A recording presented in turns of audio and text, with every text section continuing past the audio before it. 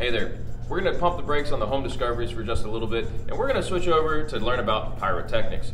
Now, obviously, when we're talking about fireworks, uh, don't try everything that you're about to see here at home uh, for safety reasons.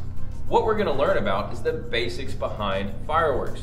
It's all about a chemical change. So on the molecular level, you're rearranging some stuff, and often with the result of heat. We're going to explain that throughout this process.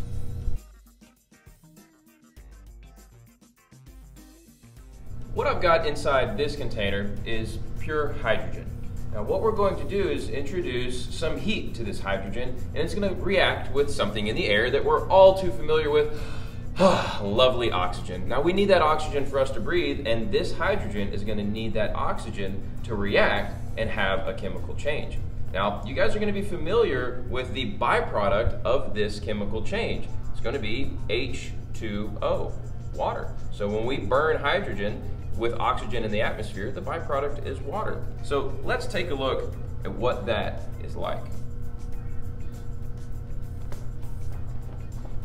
I'm going to take our hydrogen and put it into some bubble juice and create hydrogen bubbles.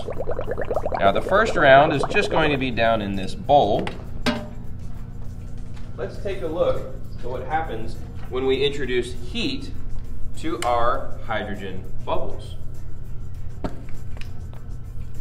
As you can see, that hydrogen reacted with oxygen in the air and burned. That's a very pure and simple chemical change. Now, our fireworks are going to have a few added ingredients to change the way they behave. What we're going to do is we're going to combine hydrogen and oxygen into that beach ball so that they are right next to each other. And we're going to see what that does to our chemical change.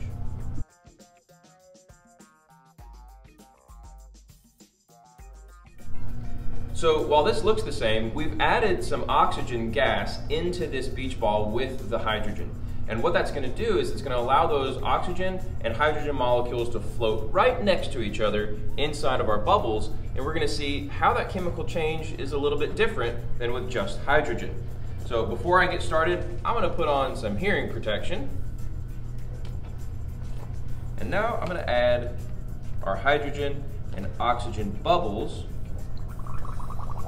it's not going to take a whole lot of them this time. You'll see why. We're going to put our stash safely away. Let's take a look and a listen to hydrogen and oxygen. Wow.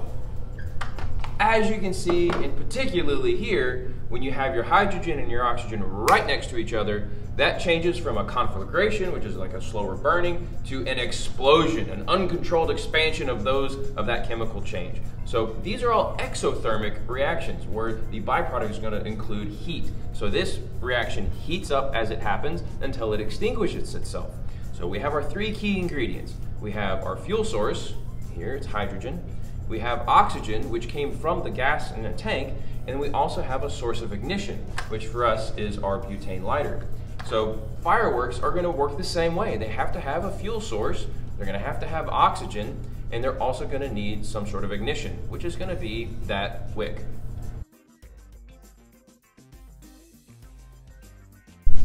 So when you're having a chemical reaction, you're going to need these three key ingredients of fuel, oxygen, and a heat source.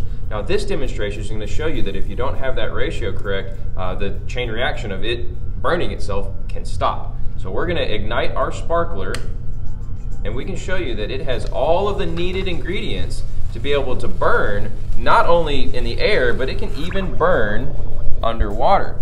So it has its fuel, it has its oxygen source, and it is able to maintain a hot enough temperature to continue to burn down inside that water, which is really neat. And uh, again, don't try it at home, but there are a number of other fireworks that can burn underwater. So from the Museum of Discovery, we want to say we hope you have a happy 4th of July and to remind you that fireworks are nothing more than chemistry. So you're going to be watching exothermic chemical reactions all 4th of July. I'll show you one last version to show you how that expanding heat wants to rise up using my very own hand. Take a look at this.